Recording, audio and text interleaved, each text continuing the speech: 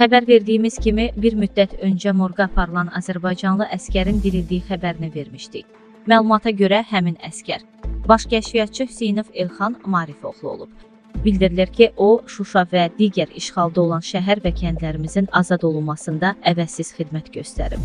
Döyüş tapşırığını həyata keçirən zaman snayper atəşi nəticəsində başından yaralanan Elxanın şəhid olduğu güman edilir və əskər yoldaşları tərəfindən morqa aparılır.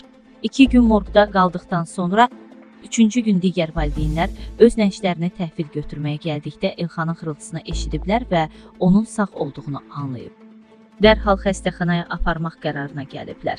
Xəstəxanaya aparılarkən maşına minaya düşüb və möcüzəvi şəkildə həyatda qalmağı bacarıb, lakin daha da ağır yaralanıb.